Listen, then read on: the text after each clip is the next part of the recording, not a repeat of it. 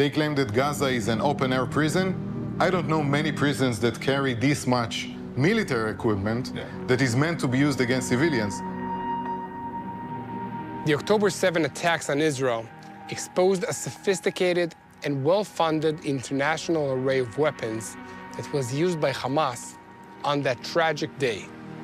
These weapons, often funded and smuggled from various countries, including Iran, Russia, and North Korea, were used primarily to target Israeli civilians and carry out atrocities against them.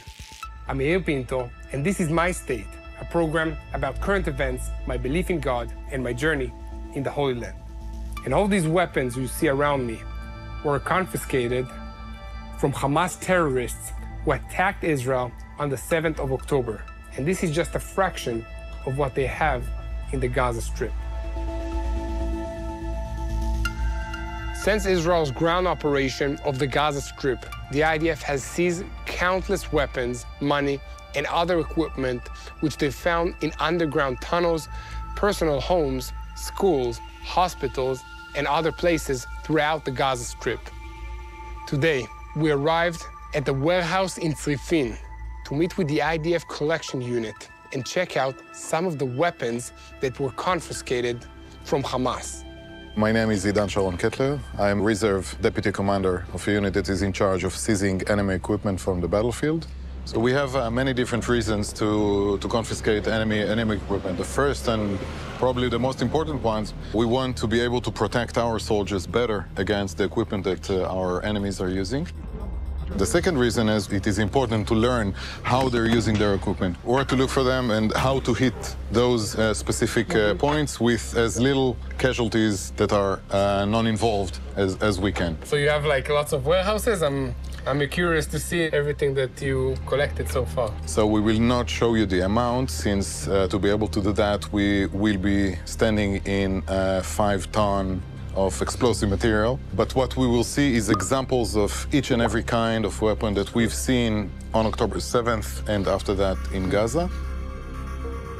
So what you see here is uh, four examples of those uh, pickup trucks uh, that entered Israel carrying uh, terrorists on them. You can see bullet holes in the doors and Yeah. uh, on the seats. But some of the damage is also because uh, when the IDF entered the area, we needed to clear the roads fast. So Yeah. they were just spread to the sides of the road and turned over. This tractor here uh, is not the one that you've seen on the videos. That- Breaking the fence. yeah, it broke the fence near uh, Kibbutz Erez and entered Israel. It was attacked with heavy weapons and stopped there.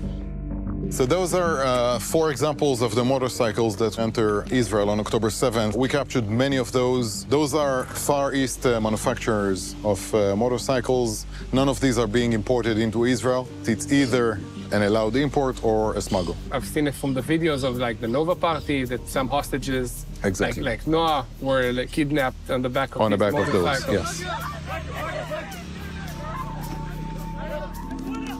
So Yair, what you can see here is examples of the equipment that we uh, brought after October 7th fr- from within Israel. The terrorists came in with this stuff. For example, the AKs. We see here many different manufacturers. We see the Egyptians, the Ukrainians, Romanian, Bulgarian, Chinese, uh, North Korean. This shows a good example of uh, black market. This is the AK 103. This is a, a very good assault rifle. It's the, the newest kind of, uh, of uh, AK. Another uh, distinguished example from October 7th is the AK-74U, also called the Micro or Bin Laden. A bit smaller, It is not a bit, it is, uh, it is smaller. but they came prepared. They came prepared and they kept the ammunition simple. On an assault, you want to keep the ammunition simple. These are the RPGs, right? Yes. This fires a, a rocket. Yes, right? this fires- a shoulder held. Yes, they fired it on houses. They fired this on the ambulance near the Nova. When this one was uh, made in 1976, and this mark here marks the original Russian factory. You can see from many different manufacturers. This one is made in Gaza, and you can see in the manufacturing the difference. This is a pipe that comes from a signpost. They cut it. There is no difference diameter in the middle. They don't care about the shoulder of the terrorist that will launch the rocket. And they just attach the trigger mechanism with uh, screws. But the thing is that it works. Some of those are shotguns. You can see different kinds and uh, sniper rifles.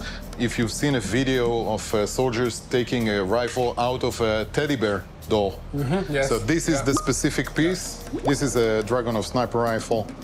Uh, it fires 762 long bullets. This is crazy. It's all the weapons that I remember being uh, warned against when we entered uh, Khan Yunis and the Gaza Strip. These, and especially because I'm from the tank unit, so especially the RPGs. RPGs. They would just pop out of an underground tunnel and fire an RPG at us and then uh, sneak back into the tunnel. Most of them were, you know, we got them either the next day or, Or the we destroyed the tunnel. This is a light machine gun, the original ones from Russia. We see the Chinese copy, and we also see the Iranian copy. This is the assault drum that they use with the uh, bullet chain. On October 7th, they came with huge amounts of ammunition. Also in the Gaza Strip, everywhere you look, every, basically every school, every United Nations buildings, every mosque, every place that is supposed to be humanitarian, we found lots of uh, ammunition and, and guns. Packed with, with all these uh, weapons. So what do we have here? You know, this this looks like plastic. This cannot fire any any bullets. True, we found those in schools. So this is what they educate their kids on. We found those in three different schools inside Gaza. In uh, military practice, uh, explosive charges is not an assault weapon. This is something that you use once you capture there an area and you want to defend it. Those explosive charges came into Israel on October 7th So this suggests that they plan to capture the Israeli communities and stay there. and stay there. The black big ones are called the Shawaz. This is anti-tank charges. This Yeah. is not something that you need. yeah, just just to Just carry to- out a terror attack. Exactly. The terrorists were armed with military-grade weapons, like the Shawaz anti-tank explosive, which was used to break into Israeli civilians' protected shelters and safe rooms.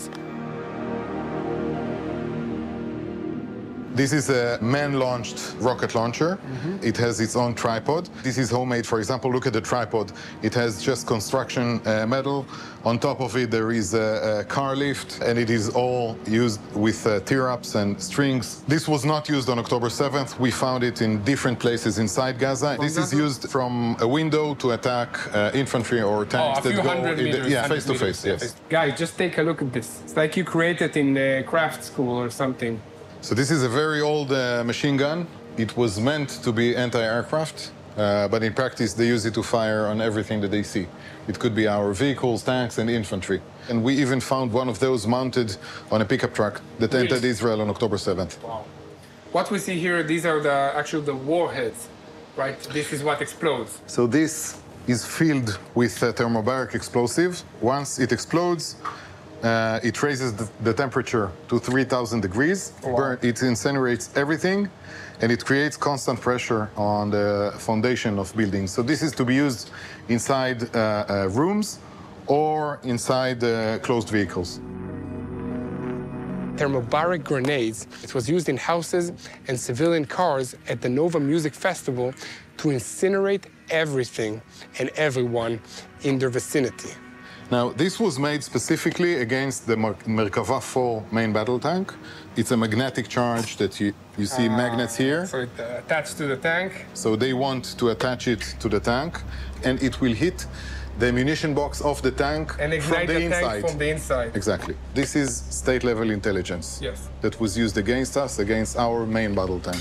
We captured many of those on civilian cars in the Nova parking area, attached to the fuel tanks of the cars. Really? Many of those didn't explode. Some of those still had a safety ring on them. We knew about this charge before October 7th, and once we captured them, we brought them to the intelligence unit that are in charge of, uh, of analysis.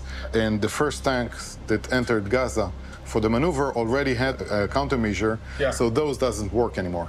This rocket here is Iranian made. They create both warheads in Iran and uh, they attached a North Korean rocket engine. These are made in Gaza, but it's not actually made in Gaza. They assembled, Assembled it in Gaza. Yeah, Smuggled into the Gaza Strip and then assembled Yeah, because- underground in their factories or whatever. exactly. This box is controlling rocket launchers that launch rockets into Israel. And once you programmed it, you can just leave. It will fire in three weeks at 8.06 p.m. as you programmed it. It doesn't need anything. So guys, you need to understand that Hamas's agenda is to keep firing rockets at Israeli civilians throughout this war. They care about it more than protecting their people, more than protecting their fighters, their uh, terrorists in the Gaza Strip. So that's why they invest all this technology that will keep firing rockets even without personnel on the ground.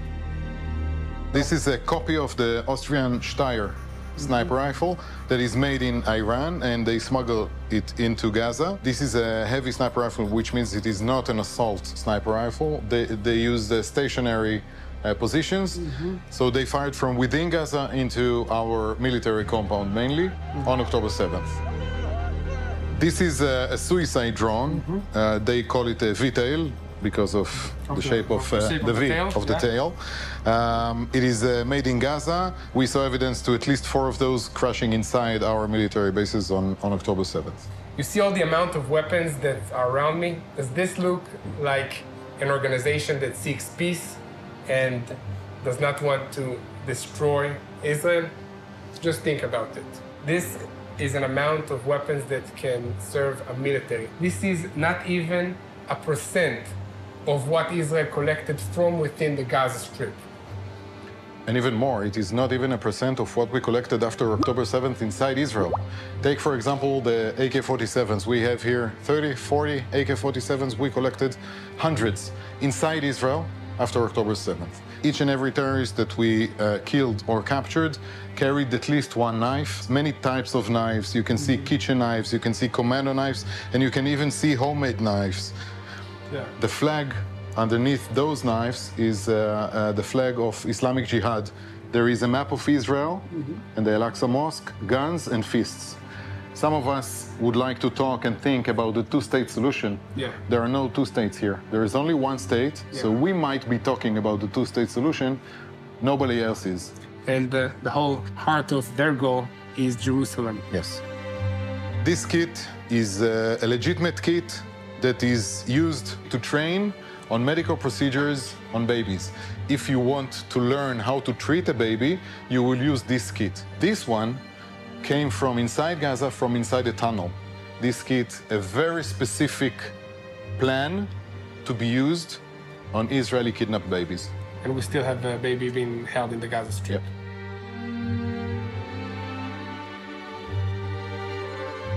So yeah, just look around you. I don't know any different uh, uh, definition to crimes against humanity. Clearly, all of this arsenal and other finds is the result of extensive smuggling operations into Gaza from various countries involving substantial financial investments and years of planning. Imagine if all of these resources were put into improving the lives of Gazan civilians instead of being used for one goal only, the destruction of Israel. Please pray for an end to Hamas and all terror organizations around the world who are hell-bent on destruction and chaos. Pray for a world without war for our children and their children to live in. But while we have to fight this axis of evil, we pray for our soldiers, for the soldiers of the IDF, for the return of our hostages, and of course, we unite in prayer for the peace of Jerusalem. Hello, this is Mati here in Jerusalem with TBN Israel. This is Yair Pinto from TBN Israel here in Jerusalem. TBN Israel is keeping viewers informed with Israel focused news, culture, and what God is doing in this land. Support TBN Israel today online at tbn.org/israel. Thank you.